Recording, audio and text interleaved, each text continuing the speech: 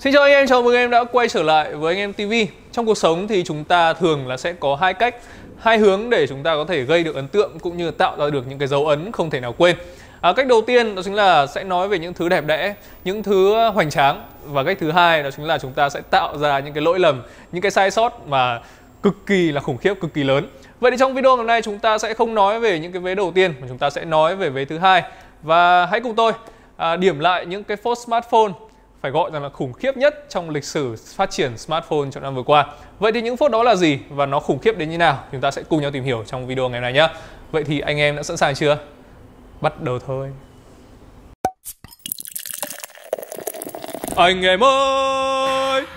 Vậy thì thất bại đầu tiên mà mình muốn đề cập tới trong video ngày nay đó chính là về à, chiếc Samsung Galaxy Note 7. Đây có lẽ là một trong những cái thương vụ mà Samsung chắc chắn là không thể nào quên được.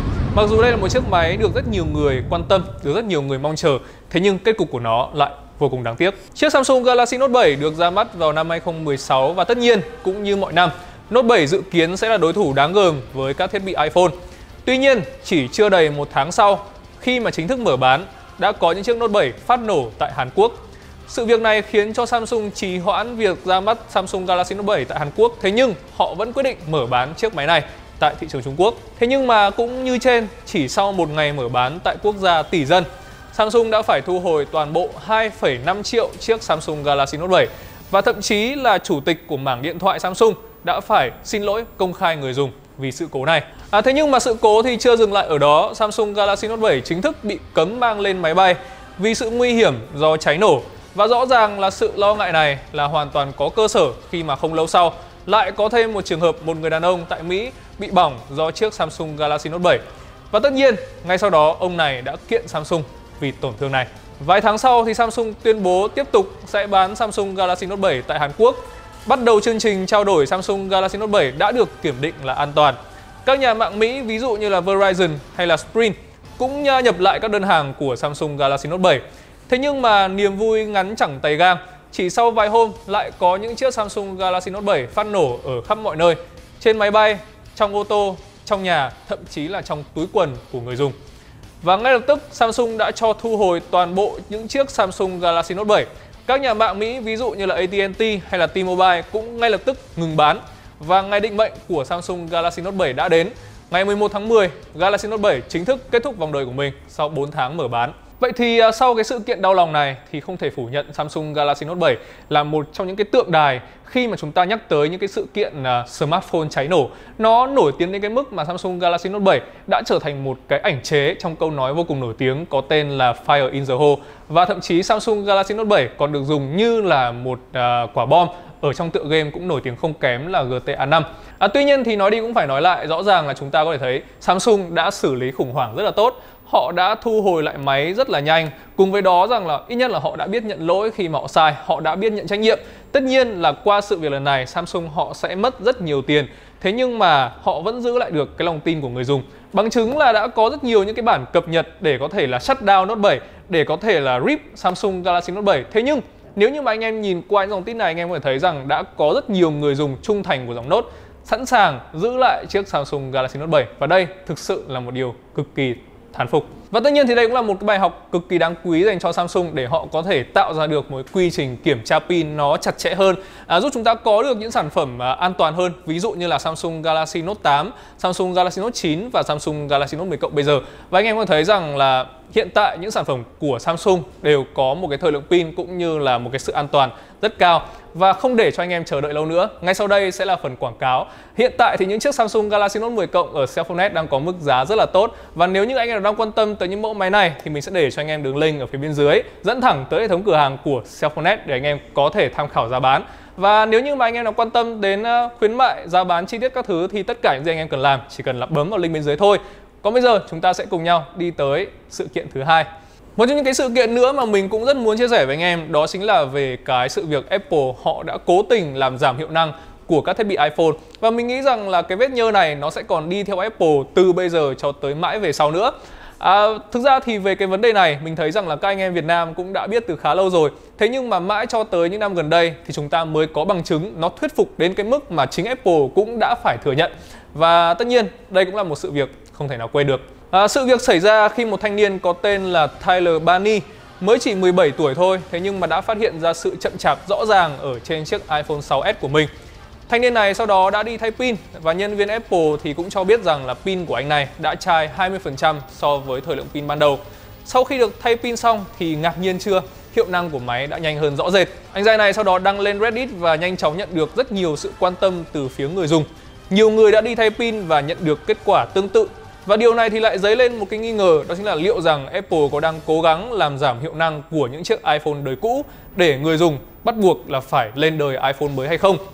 Và tất nhiên, nghi ngờ này là đúng. Apple sau đó đã phải thừa nhận việc là can thiệp vào hiệu năng của những chiếc iPhone. Cụ thể là họ đã chia sẻ rằng iPhone dùng một thời gian dài, máy đương nhiên sẽ bị cháy pin và họ sẽ điều chỉnh một số tính năng để làm kéo dài tuổi thọ pin. Ví dụ như thời gian mở ứng dụng sẽ lâu hơn, tốc độ cuộn trang chậm hơn, giảm độ sáng màn hình hay thậm chí là âm lượng loa nó sẽ bị giảm vân vân và vân vân. Tất nhiên là cái việc mà chúng ta dùng những thiết bị iPhone, những thiết bị iPad và một thời gian sau nó bị chai pin, đây là một điều mà chúng ta không thể tránh khỏi và có lẽ là ai cũng biết. Thế nhưng mà cái vấn đề quan trọng nhất ở đây đó chính là việc Apple họ chả nói chẳng rằng gì với người dùng.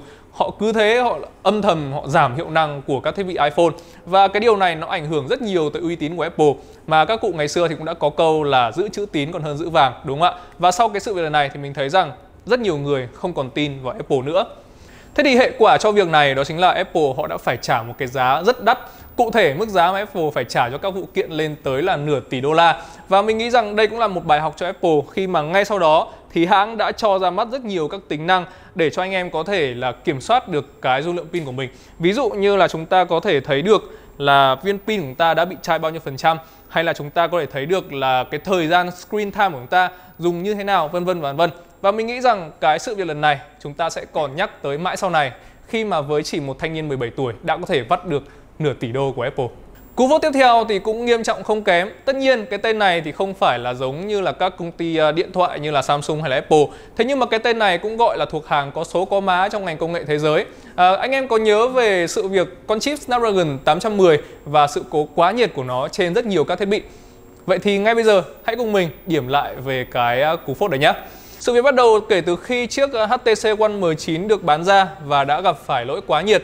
Đã có rất nhiều nghi vấn liệu rằng nguyên nhân có phải là do con chip 810 của Qualcomm gây ra hay không. Và trước đó thì Samsung với chiếc Samsung Galaxy S6 cũng đã tuyên bố rằng hãng sẽ không sử dụng con chip Snapdragon 810 mà thay vào đó sẽ là con chip Exynos 7420. Điều này thì lại càng có cơ sở cho những nghi vấn về vấn đề quá nhiệt trên con chip của Qualcomm. Sau đó thì đối thủ của Samsung hồi bấy giờ là LG đã lên tiếng khẳng định rằng sản phẩm của hãng không gặp bất kỳ vấn đề gì đối với con chip Snapdragon 810. Tuy nhiên thì khi ra mắt chiếc LG G4 thì chiếc máy này lại sử dụng con chip Snapdragon 808 với xung nhịp yếu hơn. Điều đang nói ở đây là không chỉ có những hãng kể trên, mà có cả những hãng khác sử dụng con chip Snapdragon 810 cũng gặp hiện tượng quá nhiệt. Và điển hình ở đây đó chính là chiếc Z4 khi mà chơi game thì nhiệt độ đỉnh điểm của nó lên tới là 70 độ và bản thân X Channel cũng đã có một bài trải nghiệm anh em có thể xem lại ngay sau đây. Vậy thì nói về nguyên nhân dẫn tới tình trạng này thì Qualcomm họ đã quá vội vàng trong cuộc đua về hiệu năng. Họ nhồi nhét quá nhiều thứ vào trong một con chip với tiến trình đã cũ là 20 nanomet. Trong khi đó thì Samsung họ đã sản xuất chip trên tiến trình là 14 nanomet. Và đây cũng có thể coi là một trong những nguyên nhân chính dẫn tới việc quá nhiệt ở trên con chip Snapdragon 810. À, tuy nhiên thì nói đi cũng phải nói lại, rõ ràng đây là một bài học rất đắt giá dành cho Qualcomm và phải thú thực hãng họ đã tiếp thu bài học này rất là tốt. À, cụ thể là trong những năm gần đây anh em có thể thấy Qualcomm là một trong những sản xuất chip cực kỳ uy tín và những cái con chip mà họ sản xuất ra có chất lượng phải gọi rằng cực kỳ tốt. Hiệu năng của nó tốt hơn hẳn so với lại các con chip của hãng khác. Và điểm mấu chốt ở đây mà có lẽ chúng ta đều có thể nhìn thấy đó chính là con chip Snapdragon 855 của Qualcomm. Nó đã thể hiện tốt đến như nào trong năm vừa qua so với lại con chip Exynos ở bên phía Samsung. Và nhân tiện chúng ta đang nói về Samsung thì chúng ta hãy cùng nhau nói về một chiếc điện thoại cực kỳ đặc biệt và tất nhiên cũng được ra mắt trong thời gian gần đây, đó chính là chiếc Samsung Galaxy Fold. Có thể nói rằng đây là một chiếc điện thoại thành công về mặt hình ảnh và thương hiệu cũng như là đang dẫn đầu xu thế về điện thoại gập trong thời gian hiện nay. Tuy nhiên thì với chiếc máy này Samsung họ cũng đã chứng minh cho tất cả mọi người thấy được rằng là dùng một cái điện thoại gập làm ra được một cái điện thoại gập nó không hề đơn giản. Cụ thể là hãng đã mất lên tới là 10 năm để có thể nghiên cứu, để có thể sản xuất và ra mắt chiếc máy này. Thế nhưng mà khi ra mắt, tất nhiên nó vẫn lỗi như thường. Vậy thì cụ thể sự việc đáng tiếc này xảy ra trong lần trải nghiệm đầu tiên của chiếc Samsung Galaxy Fold. Các review công nghệ trên toàn thế giới đã phản ánh về một loạt các hiện tượng đáng lo ngại trên chiếc máy này. nào là sọc màn, sau đó là liệt cảm ứng, thậm chí là liệt một bên màn hình. Tất nhiên mọi bí ẩn sau đó đã được giải đáp, lý do bởi vì phần bản lề của máy quá dễ bị bụi bám vào.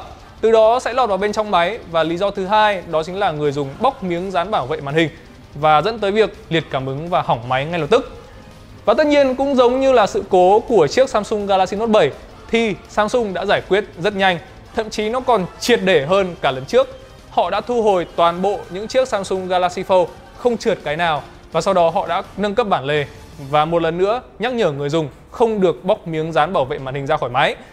Và đây có thể nói rằng tiếp tục là một hành động vô cùng đúng đắn của Samsung, bởi vì ngay sau đó thì Samsung Galaxy Fold tiếp tục là một điện thoại rất thành công, ít nhất là về mặt hình ảnh và thương hiệu của Samsung khi mà nó là điện thoại gập, được thương mại hóa an toàn nhất. Trong khi đó, các hãng khác, ví dụ như là Huawei Mate X hay là Motorola Razr, đều dính lỗi sọc màn hình và lề cảm ứng. Và đối với lại trường hợp của chiếc Samsung Galaxy Fold thì mình nghĩ rằng đây thực sự nó là một bài học rất lớn và vô cùng đáng nhớ với cả Samsung cũng như là đối với lại Huawei hay là Motorola. Bởi vì có thể thấy được rằng là làm ra được một cái điện thoại màn hình gập nó cực kỳ cực kỳ là khó. Và tất nhiên rồi, cái gì khi mà chúng ta bắt đầu làm thì chúng ta cũng sẽ phải dính những cái lỗi này lỗi kia. Và mình tin rằng là trong tương lai điện thoại gập nó sẽ còn phổ biến hơn nữa. Rồi trong video ngày nay thì mình đã chia sẻ với anh em về rất nhiều những cái phốt của các hãng công nghệ trên toàn thế giới Hay nói đúng hơn, đây là những bài học nhớ đời dành cho các hãng đó Vậy thì anh em thì sao? Anh em à, ấn tượng nhất với phốt nào và anh em có muốn mình tổng hợp rất nhiều những cái phốt khác hay không? Bởi mình biết rằng chúng ta vẫn còn rất nhiều thứ mà chúng ta chưa nói tới trong video ngày nay. Vậy thì ý kiến của anh em thế nào thì anh em hãy bày tỏ phía bên dưới nhá. Và đừng quên là hãy bấm like, share cũng như là subscribe kênh youtube của anh em TV Bởi vì trong khoảng tầm à, 2 tuần nữa đến à, iOS 14 thì bọn mình cũng sẽ làm rất nhiều nội dung hay ho cho anh em. Còn bây giờ xin chào và hẹn gặp lại anh em trong những video lần sau. Bye bye.